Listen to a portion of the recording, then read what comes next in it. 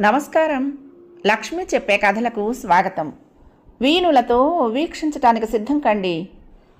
ప్రియ సఖులు ఇప్పుడు మనం డాక్టర్ శ్రీమతి కొఠారి వాణిచలపతిరావు గారు రచించిన ఇది జీవితం అనే ఓ చక్కటి కథను విందామండి. బస్సెక్కి కూర్చున్నప్పటి నుంచి మనసు మనసులో లేదు కాంతమ్మకు. ఇప్పుడు నేను రావులపాలెం ఎందుకు వెళ్తున్నట్లు? మూడేళ్ళుగా మూతి ముడుచుకొని అలిగి కూర్చుని ఇక ఆ ఊరి పొలిమేర తొక్కనని శపథం చేసి ఎవరు ఎన్నిసార్లు రమ్మని పిలిచినా రానని బెంకానికి పోయి ఇప్పుడు అకస్మాత్తుగా తన నిర్ణయాన్ని ఎందుకు మార్చుకున్నట్లు? ఇన్నాళ్ళు మంచు పలకంలా గడ్డ కట్టుకుపోయిన నా మనసు ఇలా ఎంతకాలం నుంచి కొంచెం కొంచెంగా కరగటం మొదలుపెట్టింది. అది నాకు తెలియకుండానే ఆలోచించడం మొదలుపెట్టిందామే. ఇప్పుడు తను వెళ్తే అక్కడ అందరికీ చులకనైపోవటం ఖాయం.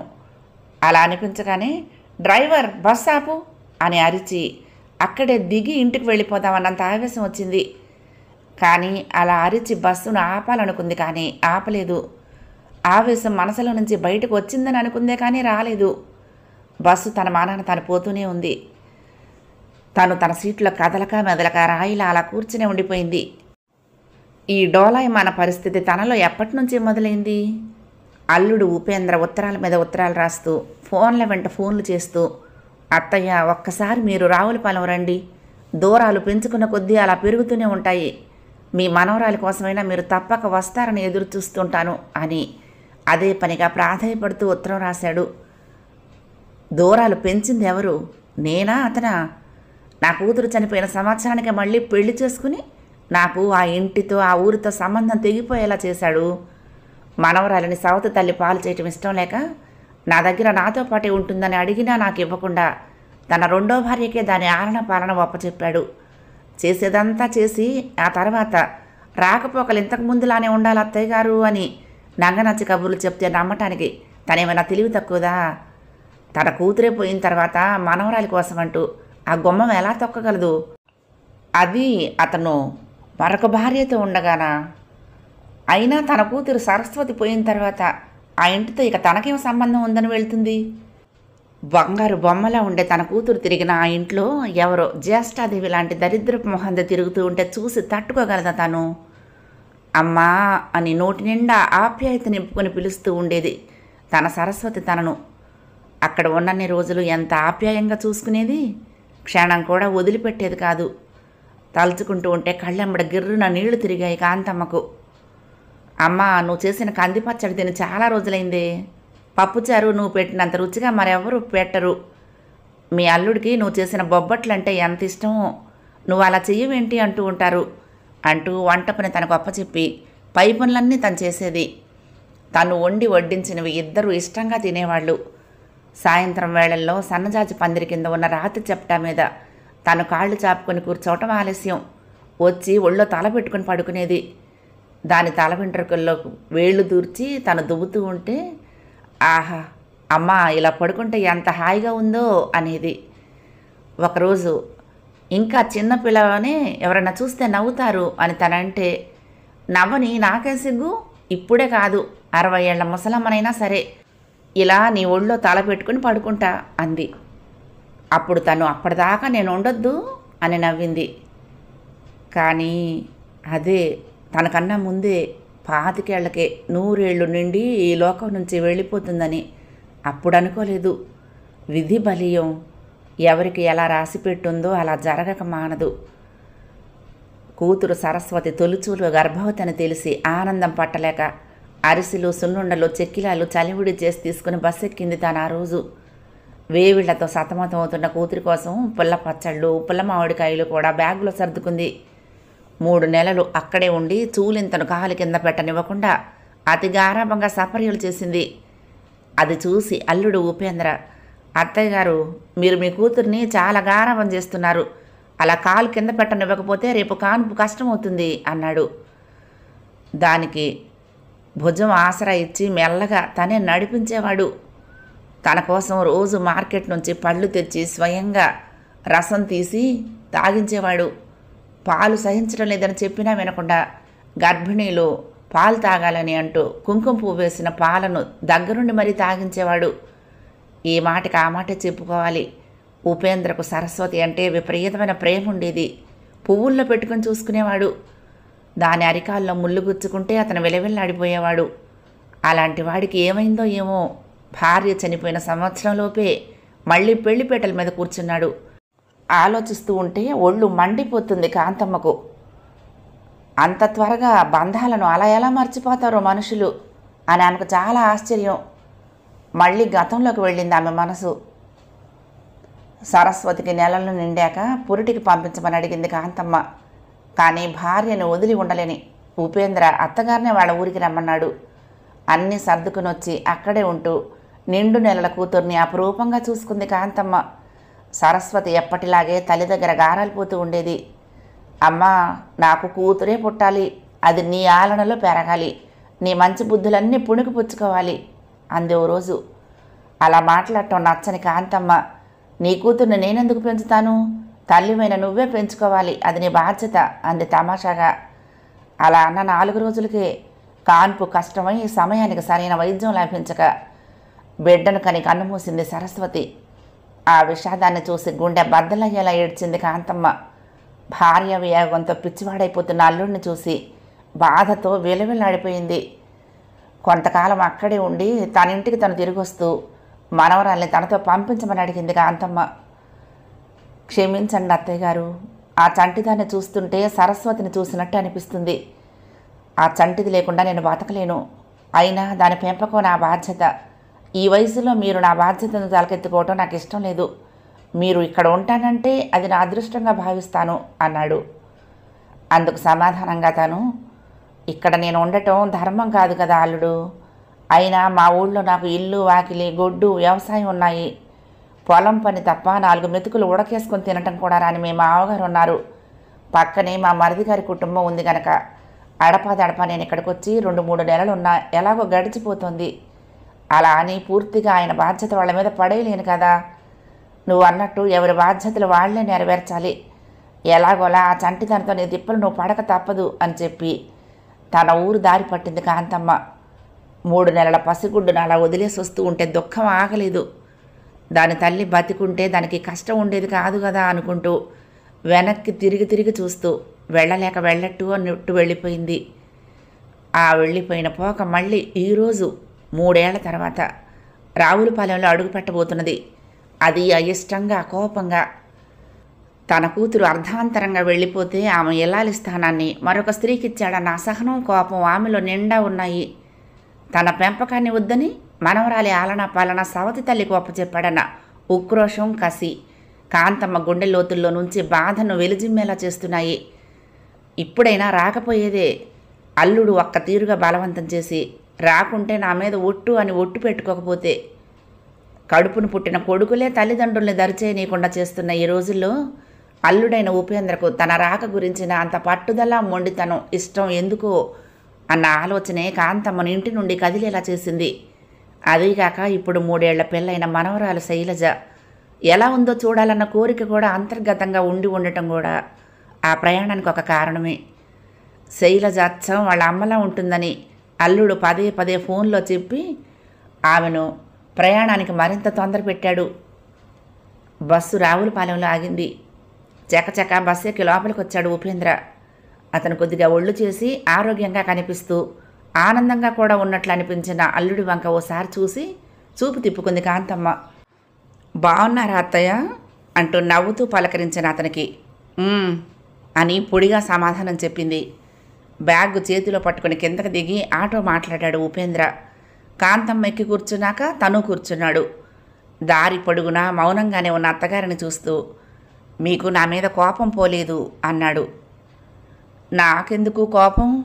ఎవరిష్టాలు వారివి ఎవరి జీవితాలు వారివి అంద నిష్ఠూరంగా.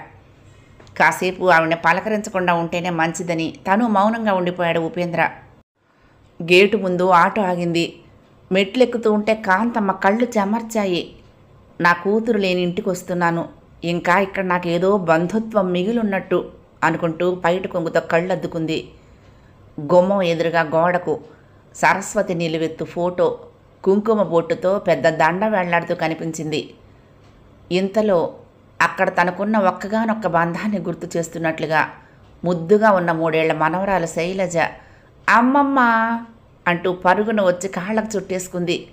ఒక్కసారిగా ఉద్వేగానికి గురైంది కాంతమ్మ. ఓ నువ్వా నా బంగారు కొండ?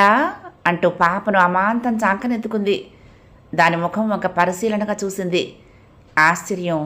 అచ్చం! చిన్నప్పటి సరస్వతిని చూస్తున్నట్టుగా ఉంది. అవే కళ్ళు అదే కోటేరు తేలిన ముక్కు అదే పసిమి ఛాయ. తన కూతురు మళ్ళీ బతికి వచ్చినట్లుగా అనిపించి భావోద్వేగంతో గుండెలకు హత్తుకుంది మనవరాలిని. పాపని ఊహ తెలియని వయసులో మూడు నెలల పిల్లగా ఉన్నప్పుడు చూసింది.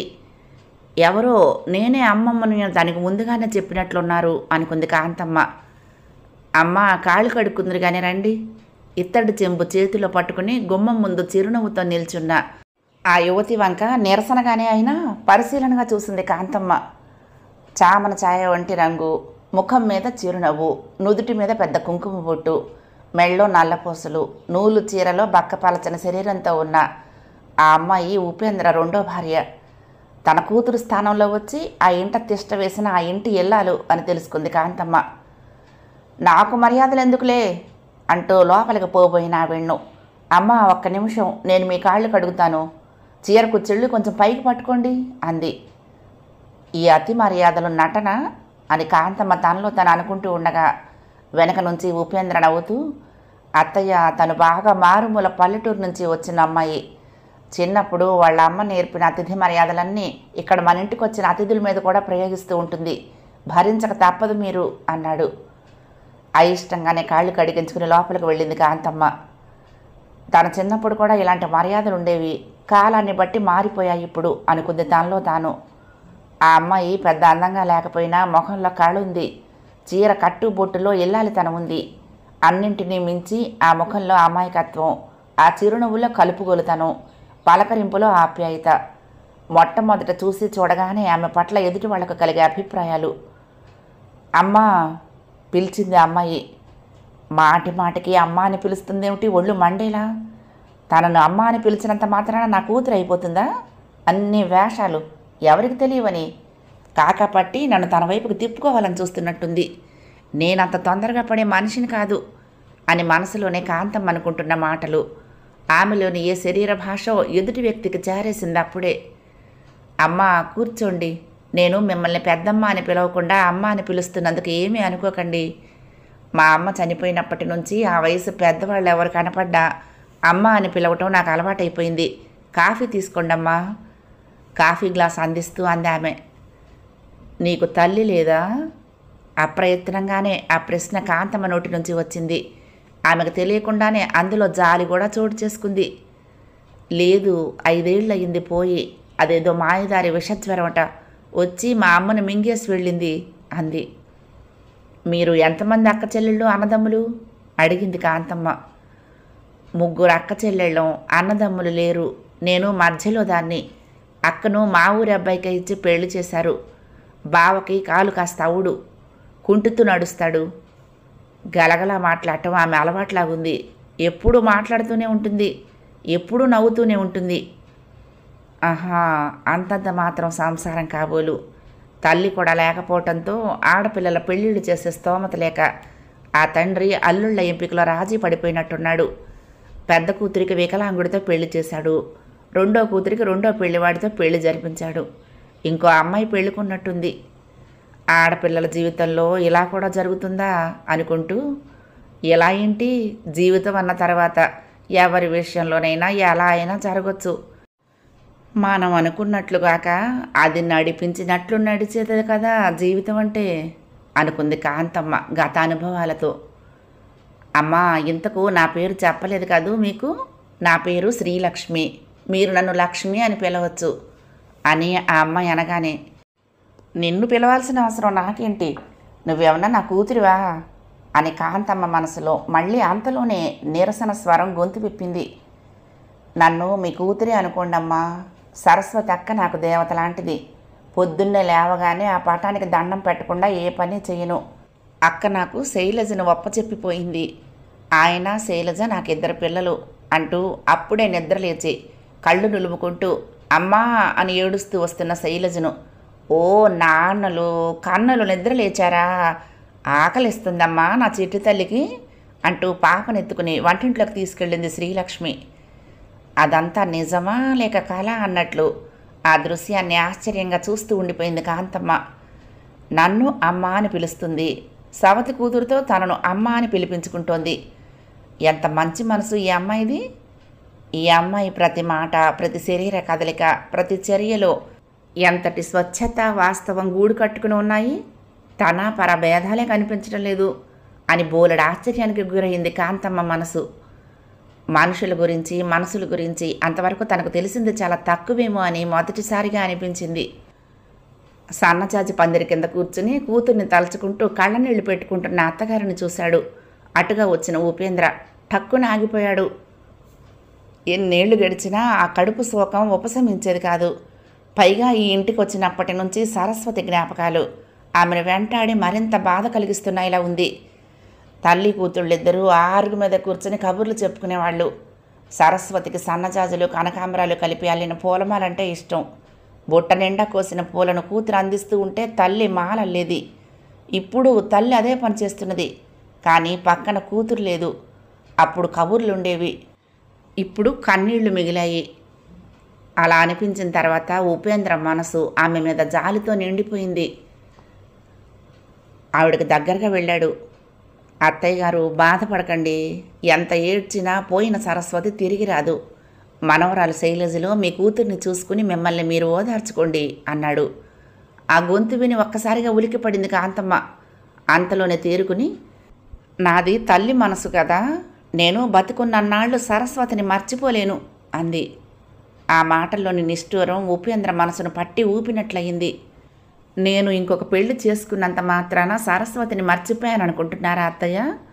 నా భార్యగా ఈ ఇంటి ఇల్లాలిగా ఆమె స్థానం ఆమె లేకపోయినా అలాగే చెక్కు చెదరకుండా ఉంది ఉంటుంది. గుమ్మం ముందు గోడకు తగిలించిన సరస్వతి నిలువెత్తు ఫోటో చూస్తూ ఉంటే ఆమె ఆ ఇంట్లో తిరుగుతున్నట్టే అనిపిస్తుంది. చనిపోయిందన్న మాటను నా మనసు అంగీకరించడం లేదు. ఇక నేను శ్రీలక్ష్మిని పెళ్ళి చేసుకోవటానికి కారణం పరిస్థితులు. ఈ పెద్ద వయసులో మీ మీద శైలజ బాధ్యతను పెట్టడం ఇష్టం లేక నేనే దాని పోషణ చూసుకుంటానని ఆనాడు అన్నాను. కానీ అది కార్యరూపంలో అంత తేలికైన పని కాదని అనుభవం మీద తెలిసొచ్చింది. అన్ని పనులు తనే స్వయంగా చూసుకుంటూ నన్ను ఒక్క పని ముట్టనివ్వని సరస్వతి ఇల్లాలి తను నన్ను ఏమి చేతకాని వాడిగా తయారు చేసిందని తను పోయాక కానీ నాకు తెలియలేదు. నాలుగు మెతుకులు ఉడకేసుకోవటం కూడా రానివాడిని పిల్ల పోషణ ఏం చేయగలనని అనిపించింది. అదే సమయంలో మళ్ళీ పెళ్ళి చేసుకోమంటూ బంధువర్గం నుంచి మిత్ర బృందం నుంచి సలహాలు కూడా ప్రారంభమయ్యాయి. సరస్వతి పోయిన తర్వాత బావురుమంటూ బోసిపోయిన ఇల్లు ఒంటరితనం నన్ను భయపెట్టడం మొదలుపెట్టాయి. తోడుగా మరొక మనిషి లేకుండా చంటిదానితో ఈ ఇంట్లో ఉండటం దినదిన గండంగా దుర్భరంగా అనిపించింది. ఇంతలో మా దూరపు బంధువు ఒక ఆయన ఓ రోజు మా ఇంటికి వచ్చి మా ఊళ్ళో శ్రీలక్ష్మి అని ఒక అమ్మాయి పెళ్ళికుంది. పాపం తల్లి లేని పిల్ల. వాళ్ళ నాన్న పిల్లల పెళ్ళి చేయడానికి డబ్బు లేక నానా అవస్థలు పడుతున్నాడు. ఇలా నీ గురించి చెప్తే కనుక్కోమన్నాడు అన్నాడు. దానికి సమాధానంగా నేను వాళ్ళ బేదరికాన్ని అలుసుగా చేసుకుని నా ప్రయోజనం నేను చూసుకోలేను కదా. అదీగాక నా కూతుర్ని సవత తల్లికి ఒప్పచెప్పలేను అన్నాను. దానికైనా ఆ అమ్మాయిని నేను చిన్నప్పటి నుంచి చూస్తున్నాను. అమాయకత్వం సహజత్వంతో చూడముచ్చటగా ఉంటుంది. చాలా మంచి మనసున్న పిల్ల. నీ కూతురుని అమ్మలా సాగుతుందని నేను గ్యారంటీ ఇస్తాను అన్నాడు. నన్ను బలవంతంగా అమ్మాయిని ఒకసారి చూడు అంటూ తీసుకెళ్ళాడు. వెళ్ళి చూసి మాట్లాడిచ్చి నా పరిస్థితి అంతా చెప్పాను. ముద్దబంతి పువ్వు లాంటి అచ్చమైన ఆ పల్లె పొడుచు కల్లా కప్పటం తెలియని మాటలు చూసి ఆ మధ్యవర్తి చెప్పిన మాటలు నిజమే అనిపించింది. ఆ తర్వాత ఎలాంటి ఆర్భాటాలు లేకుండా గుళ్ళో శ్రీలక్ష్మిని పెళ్ళి చేసుకున్నాను. భార్యగా ఒక బంధం ఏర్పడింది. ఏ స్త్రీ అయినా వచ్చి ఓ పురుషుడి ఇంట్లో ఎందుకు ఉంటుంది? అతని బిడ్డకు ఆలనా పాలన ఎందుకు చూస్తుంది? ఒకవేళ ఏ స్త్రీ అయినా తప్పనిసరి పరిస్థితుల్లో అందుకు అంగీకరించి ముందుకొచ్చినా లోకం వాళ్ళిద్దరికీ అక్రమ సంబంధం అంటగట్టి నిందలు వేయకుండా ఉంటుందా? అందుకే బాగా ఆలోచించాకే తర్జన భర్జనలు పడ్డాకే ఈ నిర్ణయానికి వచ్చాను. నా నిర్ణయం మిమ్మల్ని బాధిస్తుందని తెలుసు. మీకు కోపం తెప్పిస్తుందని తెలుసు. అయినా మరొక మార్గం కనిపించలేదు.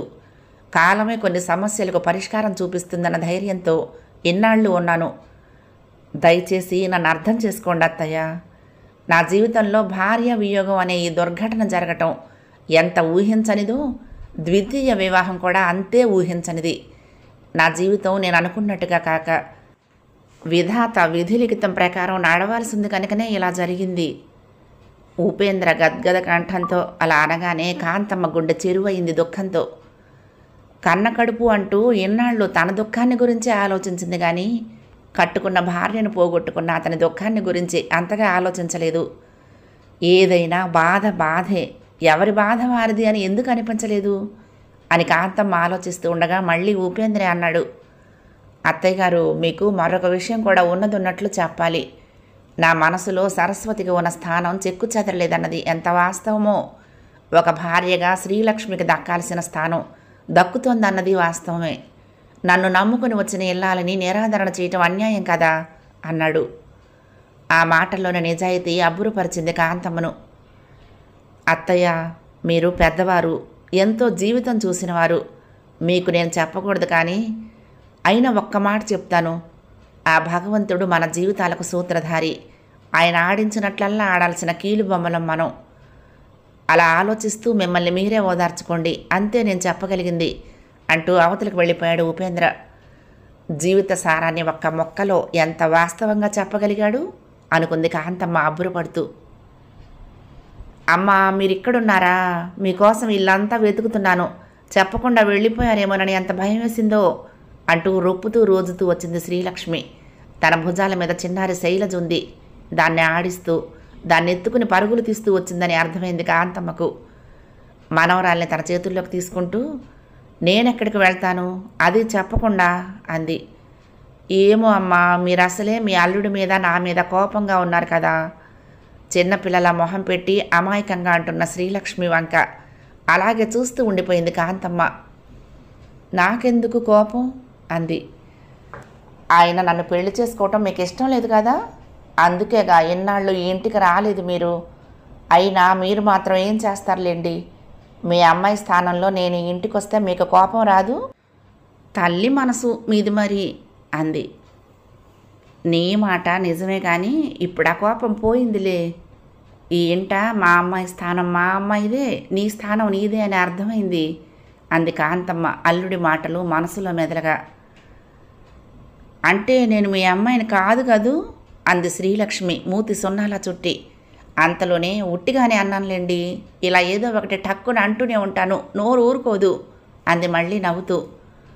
తన మాటలోని పొరపాటు అప్పుడు అర్థమైంది కాంతమ్మకు. కాసేపటికి ఆ అమ్మాయి వంక చూస్తే తను తన చేతిలోని మాల వంక చూస్తూ కనిపించింది. కనకాంబరాలు సన్నజాజల మాల కడుతున్నారమ్మా నేను పూలు అందివనా అక్కకు ఈ దండ ఇష్టమని మీ అల్లుడు గారు చెప్పినప్పటి నుంచి నేను రోజు సాయంత్రమే దండ అల్లి తడి బట్టలో చుట్టిపెట్టి పొద్దున్నే అక్కయ్య ఫోటోకి వేస్తూ ఉంటాను. ఈరోజు మీరు కట్టారు దండ. శ్రీలక్ష్మి అలా అంటూ ఉండగానే కడుతున్న మాలలో నుంచి మూరెడంత దండ తెంపి ఇవి నీకు తల్లో పెట్టుకో అని అరచేతులు పెట్టింది కాంతమ్మ. నాకా మరి అక్కకు? ఇదిగో ఇంకా కడుతున్నానుగా. పూలు తల్లో పెట్టుకోవటానికి తిప్పలు పడుతున్న శ్రీలక్ష్మిని ఉద్దేశించి ఇలారా నేను పెడతాను. అని తను వెనక్కి తిరగగానే పూలదండ తల్లో తురిమింది కాంతమ్మ. శ్రీలక్ష్మి ఆ వెంటనే చటుక్కున ముందుకు తిరిగి మీతో తల్లో పూలు పెట్టించుకోవాలనే అలా చేశాను అంది కిలకిలా నవ్వుతూ. ఆ ఏమో అనుకున్నాను గడసరివే అంది కాంతమ్మ. అక్కకు మీర జల్లో పూలు పెట్టేవారు కదా అందుకని అని అంటూ ఉండగా అక్కడే ఆడుకుంటున్న శైలజ గిన్నెలోని పూలనెత్తి గుమ్మరించింది. చాప మీద జలజల రాలాయి పూలు అయ్యో పూలు పారబోసావా? అంది కాంతమ్మ. అమ్మ ఈ మధ్య శైలు బాగా అల్లరి చేస్తోంది. అన్నం తినటానికి పేచీ పెడుతోంది. పాలు తాగటానికి నన్ను ఇల్లంతా పరుగులు పెట్టిస్తుంది. ఉన్న వస్తువు ఉన్న చోట ఉండనివ్వదు. ఇల్లంతా చిందరవందర చేస్తోంది. బొత్తిగా భయం లేదు పిల్లకు అంది శ్రీలక్ష్మి. కోపంగానే అయినా నవ్వుతూ. ఒక్కడి తగిలిస్తూ ఉండు మధ్య మధ్యన అని తను అలాగే నవ్వుతూ సమాధానం వచ్చింది కాంతమ్మ. చేతులు రావమ్మ కొట్టటానికి పసిపిల్ల కదా పాపం అంటూ చుట్టూ చూసి అవును ఏదిది? ఇప్పటిదాకా ఇక్కడే ఉంది కదా అంటూ ఆ కాసేపటికే కంగారు పడిపోయింది శ్రీలక్ష్మి. ఆమె కళ్ళల్లో కనిపిస్తున్న ఆందోళన భయం చూసి ఆశ్చర్యపోయింది కాంతమ్మ. అవును ఏది? ఇప్పటిదాకా ఇక్కడే ఉంది కదా అప్పుడే తూనేగల ఎక్కడికి ఎగిరిపోయింది? అంటూ తను లేచి వెతకటం మొదలుపెట్టింది కాంతమ్మ. ముందు శ్రీలక్ష్మి ఆమె వెంట కాంతమ్మ. ఇద్దరూ పాపను పిలుస్తూ పెరడంతా తిరిగారు. శైలు అంటూ గట్టిగా పిలిచింది కాంతమ్మ ఉన్నట్టుండి హుషు అంది శ్రీలక్ష్మి పిలవద్దన్నట్లుగా సైగ చేస్తూ. ఆమె అలా ఎందుకంటుందో అర్థం కాక పక్కకు తిరిగి చూసింది కాంతమ్మ. పిల్లిలా అడుగులు అడుగేస్తూ శబ్దం రాకుండా ముందుకు నడుస్తోంది శ్రీలక్ష్మి. ఆమె దృష్టి లక్ష్యానికి గురిపెట్టి ఉంచిన బాణంలా ఉంది. అదేమిటోనని తాను అటు చూసిన కాంతమ్మకు గుండె ఆగినంత పనయింది. మనవరాలు శైలజ ముందు ఓ తాచుపాము పడగ విప్పి ఉంది. దాన్ని కనురెప్ప వేయకుండా చిరునవ్వుతో చూస్తూ ఉంది పాప. అది విషసర్పం అని తెలియని తను ఓ బొమ్మను పట్టుకోవటానికి వంగినట్లు చెయ్యి చాపి కింద కొంగుతోంది ఇంతలో ఒక్క ఉదుటున ముందుకు పరిగెత్తి పామును మెడ దగ్గర పట్టుకుని విసురుగా అవతలికి విసిరేసింది శ్రీలక్ష్మి. ఆ తర్వాత శైలజని ఎత్తుకుని గుండెలకు హత్తుకుని బావురుమని ఏడ్చింది. అమ్మను వదిలిపెట్టి ఎక్కడికి వెళ్ళొద్దని చెప్పానా నీకు? అంటూ దాని వీపున ఉద్వేగంతో కూడిన కోపంతో ఒక్క చరుపు చరిచింది. పెరట్లో పిచ్చి మొక్కలు బాగా మొలిచి పెరడు అడవిలా తయారైంది. ఒక మనిషిని పెట్టి శుభ్రం చేయించండి అని చెప్తూనే ఉన్నాను ఈయనకు అంటూ భర్త మీద విసుక్కుంది. ఆ దృశ్యాన్ని అలాగే నోరెళ్ళబెట్టి చూస్తున్న కాంతమ్మకు అప్పుడు శ్రీలక్ష్మిలో తన కూతురు సరస్వతి కనిపించింది. మోసపోసిన ఆలోచనల నుంచి అప్పుడే బయటపడ్డ ఆమెకు మనుషులంతా మంచివాళ్ళుగా కనిపించారు. అంతేకాదు జీవిత తత్వం కూడా బోధపడినట్లు అనిపించింది. ఇది జీవితం. ఎప్పుడు మనం అనుకున్నట్లు మనం ఆశించినట్లు అది ముందుకు నడవదు. ఒక్కోసారి జీవితంలో అనుకోని ఘటనలు పరిణామాలు సంభవిస్తాయి. విధికి తల ఒగ్గక తప్పని అలాంటి పరిస్థితుల్లో శిథిల జీవితాన్ని సాధ్యమైనంత మేరకు మరమ్మతులు చేసుకోవటమో పునర్నిర్మించుకోవటమో చేయాలి కానీ దాన్ని మరింత శిథిలం కానివ్వకూడదు. ఎందుకంటే జీవితం చాలా విలువైంది కనుక అన్నదే ఆ తత్వం. అప్పుడే ఇంటికి వచ్చిన భర్తతో పెరట్లోకి పాము వచ్చిన సంగతి చెప్తూ అతనితో దెబ్బలాడుతోంది శ్రీలక్ష్మి. భార్య చేతిలో నుంచి కూతురు శైలజ ఎత్తుకుని ముద్దులు పెట్టుకుంటూ వెన్ను రాస్తున్నాడు తన మునివేళ్ళతో ఉపేంద్ర. ఆ ముగ్గురిని అలా చూస్తూ ఉంటే ఆనందం వల్ల కలిగిన భావావేశంతో కళ్ళు చెమర్చాయి కాంతమ్మకు. కథ సమాప్తం. ప్రియ సఖులు ఈ కథ మీకు నచ్చితే తప్పకుండా లైక్ చేయండి షేర్ చేయండి కామెంట్ చేయండి సబ్స్క్రైబ్ చేసుకుని నన్ను ఎంకరేజ్ చేయండి. ఉంటానండి ప్రేమతో లక్ష్మి కృష్ణాతీరం దుర్గమ్మ సన్నిధానం. నమస్తే.